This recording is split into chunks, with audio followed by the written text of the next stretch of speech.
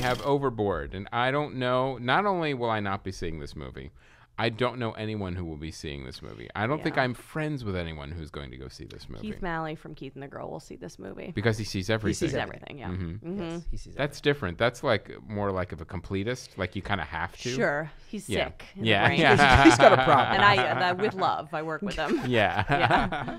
and No, we uh, just had him on last week. We know. We know Keith's And- problems. yes. Now, now Tully is the opposite, where I think I'm the only person who wants to see this movie. Like, I think it looks really interesting.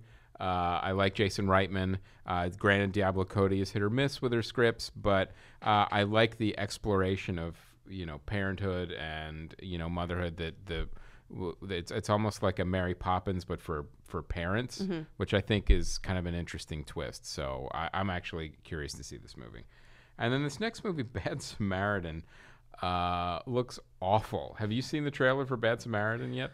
No, all these mo- you know all these movies are screaming really loudly. We know everyone's going to go see Infinity War. Right. We're hoping we'll get some spillover. Yeah. yeah. Yeah. yeah. Bad Samaritan is a thriller with uh, one of the Doctor Who's, uh, David Tennant, and uh, uh, basically two low level robbers um, rob a guy's house and find someone like kidnapped, chained up there. And then the killer finds out they were in his house and chases them. I just wish So. they would make more uh, Peter Noteboom stories. Yeah, That's what I- that's what really. I Get really Get him want. in the writers' yeah, room. Yeah, I, I, I think we'd all be better off.